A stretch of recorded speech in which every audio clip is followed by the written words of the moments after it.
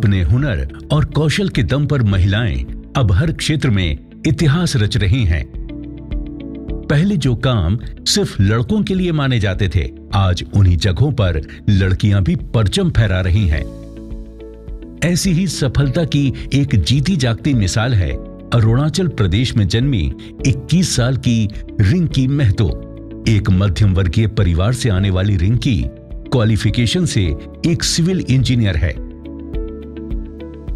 आम लड़कियों से अलग रिंकी का सफ़र शुरू हुआ 2019 से, जब उन्होंने ओडिशा के सीवी रमन कॉलेज में सिविल कोर्स में दाखिला लिया। रिंकी ने एक ऐसे क्षेत्र को ट्रेनिंग के लिए चुना, जो प्रायः पुरुषों के लिए ही माना जाता है। मेरे सर्कल में बहुत लोगों ने मुझे डिस्करेज किया कि प्लम्बिंग क्यों चूज़ करना है? सिविल इंजीनियर बन के इतना रिस्पेक्ट नहीं मिलता इस काम को। एंड वुमेंस नहीं रहती है इस काम में। बहुत कुछ बोला बट मैं डिटर्मिनेंट थी कि मुझे यही करना है।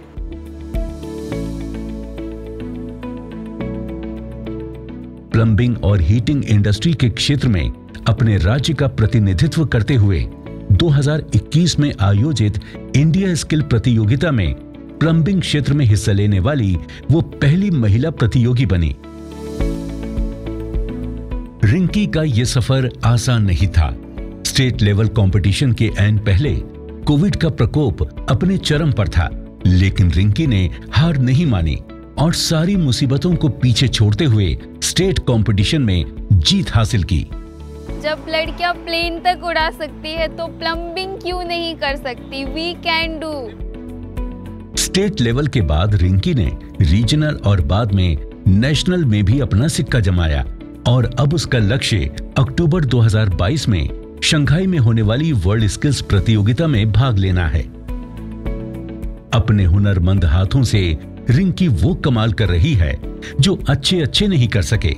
रिंकी ने यह साबित कर दिया है कि लड़का हो या लड़की, प्रतिभा और हुनर केवल हौसलों का मोहताज है।